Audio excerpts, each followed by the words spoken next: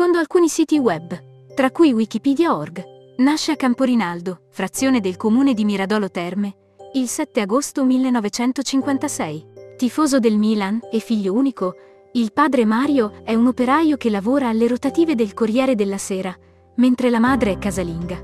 Il nome Virginio è stato scelto dai genitori in onore di uno zio, mentre il nome d'arte Jerry deriva dal soprannome che, durante l'infanzia, alcuni compagni di scuola gli diedero per prenderlo in giro. Dopo alcuni anni dalla nascita del futuro presentatore, la famiglia Scotti si trasferisce a Milano, dove Virginio frequenta il liceo classico, per poi iscriversi alla facoltà di giurisprudenza, anche se inizialmente voleva studiare architettura, che abbandonerà a pochi esami dalla laurea per iniziare la carriera radiofonica e televisiva sebbene i genitori lo avessero incitato a intraprendere la carriera di avvocato. Jerry Scotti commuove tutti.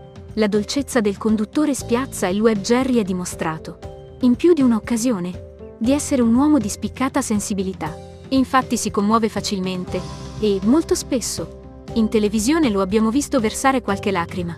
Ed è successo anche nel corso di un'intervista che ha rilasciato a Verissimo, dove si è lasciato andare a un discorso che ha lasciato i telespettatori senza parole. Qui Jerry ha ricordato che dovremmo essere tutti più buoni e considerare un privilegio il fatto di essere circondati da tante persone che possiamo conoscere e a cui possiamo regalare un pezzetto di noi. Siamo fortunati perché c'è un sacco di gente a cui voler bene. Abbiamo tanto da dare e ci sono tante persone che hanno bisogno di quello che noi possiamo dare.